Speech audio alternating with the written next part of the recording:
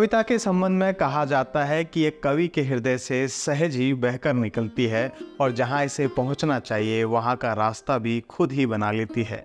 हृदय से हृदय का संवाद है कविता।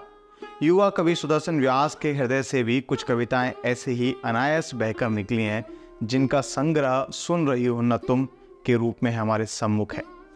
नमस्कार मित्रों, आपका सबका स्वागत है। आज हम युवा कवि सुदर्शन व्यास के काव्य संग्रह सुन रही हो। ना तुम की चर्चा करेंगे। आपसे आग्रह है कि चैनल अपना वीडियो बार को सब्सक्राइब कर लीजिए और हमारा उत्साह बढ़ाइए। सुदर्शन व्यास के संग्रह की किसी भी कविता को आप उठा लीजिए। आपको अनुभूति हो जाएगी कि कवि के शब्दों में जो नमी है, कोमल एहसास है, जो आग्रह है, विश्वास है, वह सब अनायास है। उनकी भावनाओं में कुछ भी बनावटी नहीं है। एक भी पंक्ति प्रत्न पूर्वक नहीं लिखी गई है। सभी शब्द, वाक्य, उपमाएँ, संज्ञाएँ कच्चे पक्के युवा प्रेम की तरह अल्लड़ और बेफिक्र हैं। काव्य संग्रह की प्रतिनिधि कविता सुन रहे हो ना तुमको ही लीजिए, जिसमें प्रेमी विछोह को एक सुखद एहसास देना चाहता है। वह आग्रह पूर्वक अपनी प्रेमिका से कह रहा है, सुनो ना, जिस हृदय ने तुम्हें प्रेम किया, उसका कभी उपहास मत करना। इसी कविता में अपने मनोभाव, प्रेयसी के समक्ष समर्पित करने के बाद कभी कहता है, जब कभी भी उससे अलग होना हो, अतः इसने अपने मन में समेट कर रखना। कितना सुंदर, भावपूर्ण निवेदन है। आज की पीढ़ी के लिए ज़रूरी सीख है यह कविता, जिनके लिए प्रेम और बिछो हँसी का खेल हो गया है। इसी प्रकार की सीख उनकी और कविताओं में भी दिखाई पड़ती है। इसी शीर्षक से एक और कविता सुदर्शन लिखते हैं, उसमें कहते हैं, सुनो ना मैं प्रेम करता हूँ तुमसे, और ऐसा नहीं है कि जो तुम नहीं मिलोगे तो मैं प्रेम करना छोड़ दूँगा। यही प्रेम की व्यक्ति है, जिसमें पाने की अपेक्षा और खोने का डर नहीं, बस प्रेम में होने का आनंद है। कविताएँ प्रेम पर केंद्रित हैं, निसंदेह, कहे, अनकहे प्रेम को समर्पित भी हैं, लेकिन सामाजिक जीवन की दिशा का बोध भी उनमें दिखाई पड़ता है। उनकी कविताओं का प्रेम, फ़िल्म कबीर सिंह के नायक के प्रेम की तरह अमर्यादित नहीं है। उनकी कविताओं का प्रेम जीवन सिखाता है। ईश्वर की कृपा से प्राप्त जीवन को अंधकार में धकेलने के लिए प्रेरित नहीं करता। सबसे सुंदर बात जो सुदर्शन की कविताओं में दिखाई पड़ती है, वह है एक दूसरे का सम्मान। इससे पहले भी सुदर्शन का एक काव्य संग्रह रिश्तों की बूंदें प्रकाशित हो चुका है। उस काव्य संग्रह को साहित्य जगत में खूब सराहना मिली।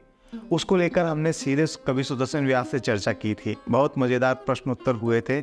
आप इस वीडियो को भी देखिएगा। इसकी लिंक आपको वीडियो के अंत में और डिस्क्रिप्शन बॉक्स में मिल जाएगी। सुदर्शन की कविताओं में आप रिश्तों की गर्माहट को सहज अनुभव कर सकते हैं। सुन रही हो ना तुम, शीर्षक से ऐसा लगता है कि एक प्रेमी अपनी प्रेमिका को अपने मन की बात सुनाना चाहता है। परंतु सत्य यह है कि कवि ने स्त्री के हृदय की व्यवस्था, अपेक्षा और आग्रह की ओर समाज का ध्यान खींचने का प्रयास किया है। एक कविता के आर्तनाद को थोड़ा सुनने की मानसिकता से सुना जाए तो वह हमारी मानसिकता के कुरूप चेहरे को दिखाती है। वह कविता बड़े उम्र की कुआरी लड़की है ये हमारे उन प्रकार की महिलाओं की, युवतियों के प्रति हमारे समाज की दृष्टि है, उसको बेपर्दा करती है। सुदर्शन की कविताएँ हमें विवश करती हैं कि हम स्वयं को स्त्री के स्थान पर रखें और फिर दुनिया को देखें, प्रेम को देखें और खुद को देखें। सुदर्शन की कविताओं से होकर जब हम गुजरते हैं तो आहिस्ता आहिस्ता यह बात ध्यान में आती चली जाती है कि उनकी कविताएँ पहाड़ से निकली किसी नदी की तरह कुछ दूर तक सरपट भागती दिखती हैं, लेकिन आगे उनमें, उनके प्रभाव में धैर्य है, गंभीरता है। एक दार्शनिक की भांति वे अपनी एक कविता में प्रेम की उम्र बता रहे होते हैं। प्रेम की उम्र कितनी होनी चाहिए कि जब गीली रेत पर खींची लकीर की तरह चेहरे पर झुर्रियाँ उभर आए?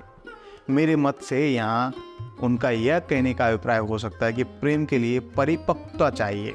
जब आपके पास वरिष्ठों सा अनुभव हो तब आप प्रेम कर सकते हैं। सही भी है, हम देखते भी हैं कि अपरिपक्व युवा जब प्रेम करते हैं, तब कई बार उसके कितने भयावह परिणाम हमारे सामने आते हैं। इसी प्रकार एक कविता में एक बार फिर कभी अपनी प्रेयसी को कहता है कि हमारे प्रेम की उम्र आखिरी सफ़र तक होनी चाहिए।